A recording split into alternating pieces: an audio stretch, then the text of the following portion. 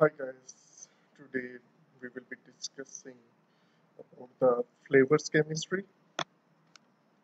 So let's start with this one. Uh, actually, the flavors uh, that is available in different forms in different food items. So uh, uh, basically. These flavor substances. Basically, these represents an extremely wide range of the chemical structures and that can be derived from most of the food, from the uh, amino acids, from the carbohydrates, from the uh, is uh, uh, organic acid and so so on. So these have a stimulating taste or aroma uh, receptors that are present uh, in our uh, nose that is present for uh, on our tongue. So these receptors that are responsible for sensation of the flavors that is a basically taste or aroma combination of the taste or aroma so the nerve system that is involved for the physiological responses that, that tells you about the flavor uh, at your in your minds. So uh, basically we have to study the chemistry of these flavoring substances in the next few slides we will be looking at uh, that chemistry. So there uh, are so many senses within the human body that is a smell, taste, sight, feeling, and sound. Uh, so all is actually involved or related with the flavor, flavors, perception of the uh, flavors. So uh, if we have to determine it chemically, these flavoring substances, there are machine analysis that is being used. You may use gas chromatography, LCMS, uh, liquid chromatographic technique, um, FTIR, and so many techniques, mass spectrophotometry, so many techniques. So sensory, talking about the sensory assessment of the flavor, we are doing the sensory analysis based on our senses, human senses. Taste and flavor, for example, that can be determined by the human senses. So there is a determination limit for these flavor for a person. Maybe that vary from person to person. A person have some different limit, you will have different limit. For this flavor compounds thresholds. So a range of concentration of a selected, how we can determine that uh, threshold level. A range of concentration of a selected flavor compound in a defined medium, water, or milk, or air that is presented to the sensory panelist and each panelist indicates whether or not the compounds that can be detected. And this concentration range where at least half of the panelists can detect the compound.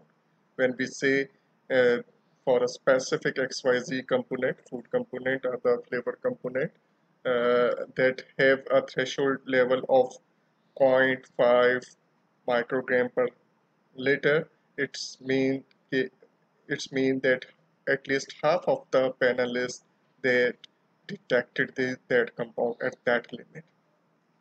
And for Hawtrins and some of the taste, what they are looking for, they are looking for sweet, bitter, and umami type of the characteristics.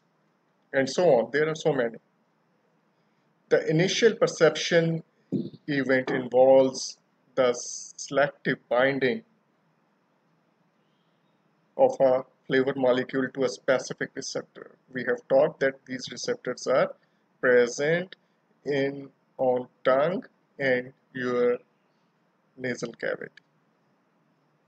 So there are specific receptor proteins in the membrane of an appropriate receptor cell that binds these substances.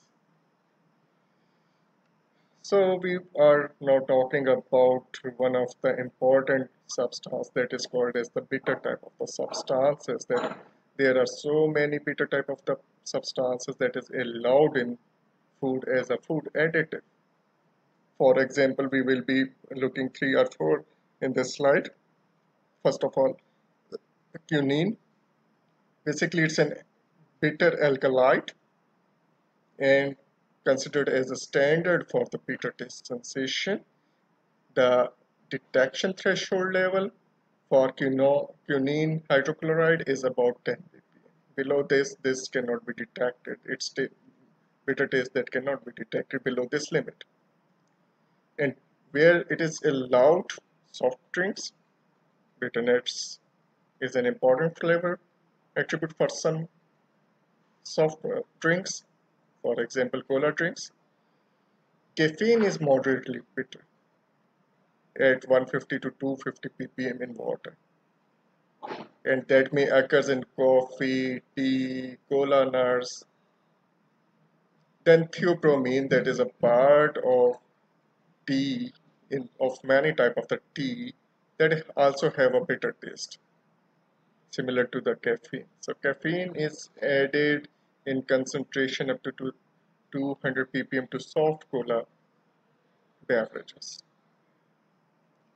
We have seen this the addition of the caffeine in, in the energy beverages as well. I, I will not name any energy beverage here, but they contain the inner in, energy beverages, but not more than 250 200 ppm that is the limit then uh, we talked about the hops again and that is a bitter substances and uh, added into the beers.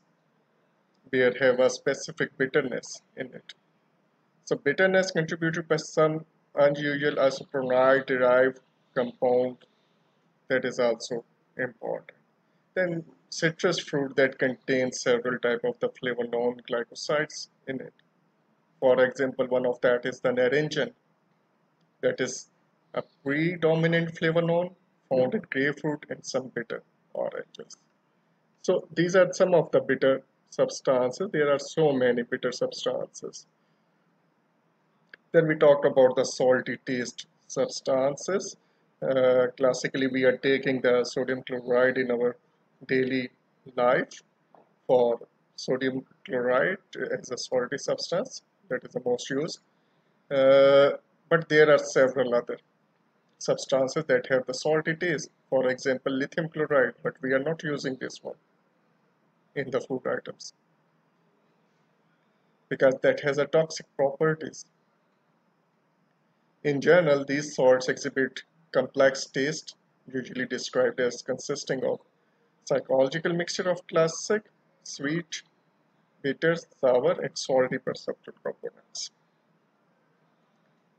Since foods flavored with these substitute have different, usually less desirable taste than those flavored with NaCl. Renewed efforts are being expanded to better understand the basic mechanism of the salty taste and in the development of salt substitutes. So we, we are using sometimes the low sodium products as the salt substitutes that have the salty taste almost that is the same taste as the sodium chloride and that is available in our markets.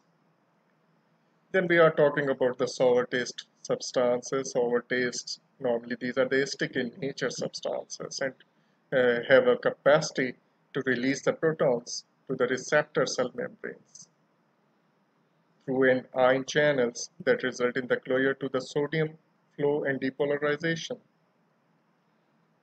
There are sodium potassium channel within the membrane system actually you know that. The qualitative aspects of the sour taste response are poorly understood. Contrary to popular belief that the acid strength in a solution does not appear to be the major determinant of the sour sensation. So there are several features that are important, molecular weight, size, and overall polarity of the molecule, acid molecule especially, and uh, organic acid molecules containing the COOH in it. Then we will be talking about the umami taste substances. There are so many taste substances. Maybe it's new for you. Umami taste basically if you, look the taste of the monosodium 1-glutamate MSG. So that, that is a typical umami taste. Other substances, for example, 5 ribonucleotides, that is called inosine 5 monophosphate 5, uh, 5-IMP. And another substance is guanosine 5 monophosphate. If you look at uh, uh, the labeling of uh, chicken cubes available in our market, that contain these kind of the substances, MSG, ribonucleotides, inosine mono 5 monophosphate, 5-IMP, 5 uh, GMP. These are available on that chicken flavor. These are the component of these. So responses because specific taste receptor that have the specific taste receptor. So responses have been detected for those receptors. Umami substances contribute a delicious, mouth-watering taste to the, your food. Uh, for example, uh, in chicken cubes, uh, in different kind of the soups, in different kind of the liquid noodles. So excess of their independent detection th threshold and they modify and enhance the flavor levels. So there are so many substances. Their effects are prominent and desirable in the flavors of the vegetables, meat, poultry, fish, shellfish, aged cheeses, especially the D-glutamate and the 2,3-ribonucleotides. So generally these derivatives have substitutions on the purine moiety in the second position. A synergistic interaction occurs between MSG and the 5-ribonucleotides when they are added simultaneously, providing both the umami taste so there uh, is some evidence to indicate that some of the flavor enhancing properties of the umami compounds results from their joint occupancy of the receptor sites involved in perception of sweet, sour, salty and bitter sensation. Another sensation associated with the food that is called as a kokumi taste. Actually, this term that was originated from the Japan. Again, this is the principal precursor for the characterization of volatile aroma compound in garlic and onions. And we will be looking at how these flavor substances are developed in next lecture. Basically, these are sulfur substituted cysteine. You know cysteine is an amino acid. It's a sulfur substituted amino sulfoxide amino acid. Thus, although flavors of food containing garlic, in for example pasta sauces, salted meats, may not exhibit readily distinguishable volatile garlic flavor notes. Their flavors are perceived as extremely complex, full and palatable because of presence of S2-propanol 116 sulfoxide. We will look at how this substance to propanol L-cysteine sulfoxide that is formed during the flavor generation. We will see in next lecture in some slides. So we close our lecture here.